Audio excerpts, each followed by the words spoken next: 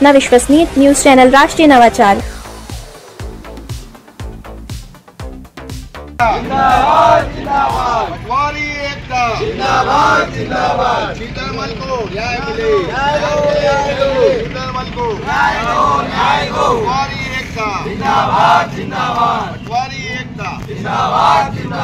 अपराधियों को तुरंत गिरफ़्तार। गिरफ़्तार करो गिरफ़्तार करो। अपराधियों को तुरंत गिरफ़्तार करो। अपराधियों को तुरंत गिरफ़्तार करो। पटवारी जिंदाबाद जिंदाबाद। पटवारी एकता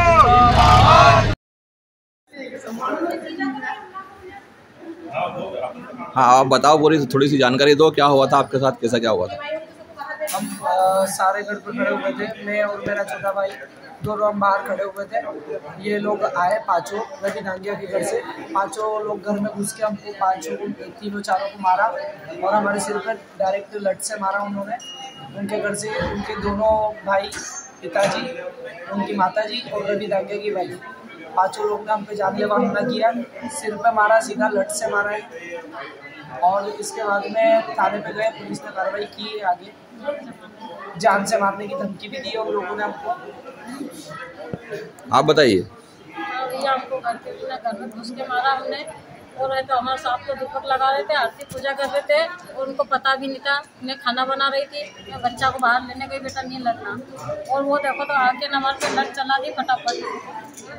और हमारे मारने और पत्नी ने बोला कि इनको जान से मार दो।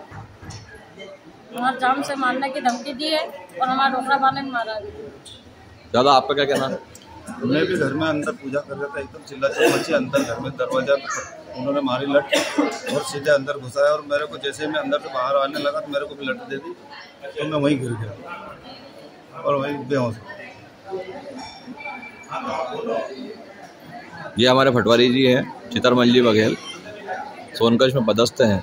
कल इनके ऊपर जानलेवा हमला हुआ है और इस जानलेवा हमले में पूरे परिवार के लोगों पर, एक साथ सभी लोग अड़ोस पड़ोस के लोगों ने लट से सिर में मारा है और ईश्वर की कृपा से ये लोग बच गए हैं, अन्यथा बहुत बुरी स्थिति हो सकती थी।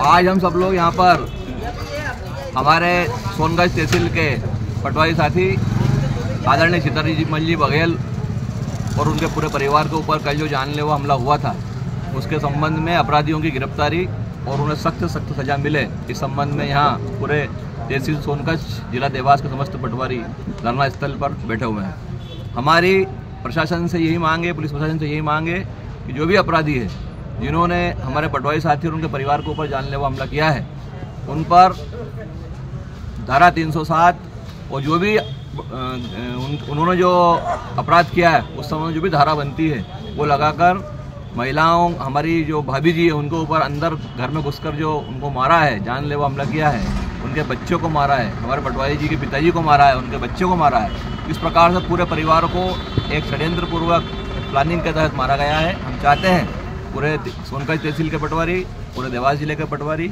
हमारी सबकी एक ही मांग है जो भी अपराधी है जिसने इतना बड़ा अपराध किया है उसको सख्त से सख्त सजा मिले और जब तक अपराधी गिरफ़्तार नहीं होंगे कानून के शिकंजे में नहीं जाएँगे जेल के जेल के अंदर नहीं जाएँगे हमारे आंदोलन जारी रहेगा। पटवारी एकता। जिंदाबाद जिंदाबाद। पटवारी एकता। जिंदाबाद जिंदाबाद।